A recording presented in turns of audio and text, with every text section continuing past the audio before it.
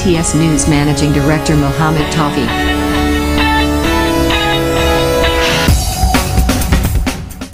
जय हिंद मैं Mohammad Taufiq BTS news and TV channel में आपका इस्तेकबाल करता हूँ। आइए देखते हैं आज की ताज़ा खबर